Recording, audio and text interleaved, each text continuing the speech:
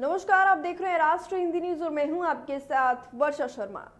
Karnataka high court में चल रहे हिजाब विवाद मामले में सुनवाई के दौरान छात्राओं ने एक दिलचस्प मांग की है। जी हाँ हिजाब पहनने के पक्ष में याचिका दायर करने वाली छात्राओं ने हाई कोर्ट से अनुरोध किया कि उन्हें स्कूल यूनिफॉर्म के रंग का हिजाब पहनने की अनुमति दी जाए।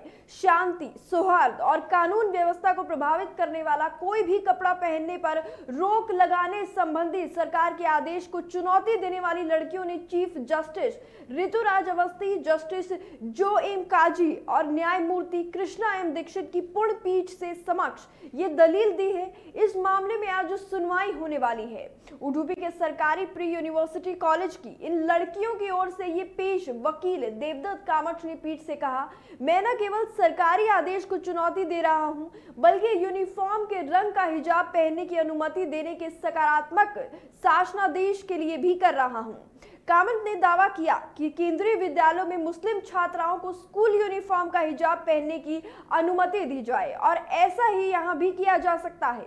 उन्होंने कहा कि हिजाब पहनना एक अनिवार्य धार्मिक प्रथा है, और इसके इस्तेमाल पर रोक लगाना संविधान के अनुच्छेद 25 में दिए गए अधिकारों का उल्लंघन है। इन्होंने तो अपनी गुजारिश कर दी है, लेकिन अब देखना होगा कि हाईकोर्ट, कर्नाटक हाईकोर्ट इस मामले में क्या सुनवाई करता है।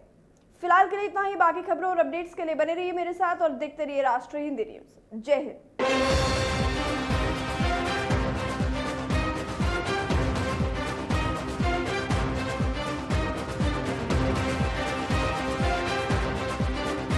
आप देख रहे हैं राष्ट्रीय हिंदी न्यूज़।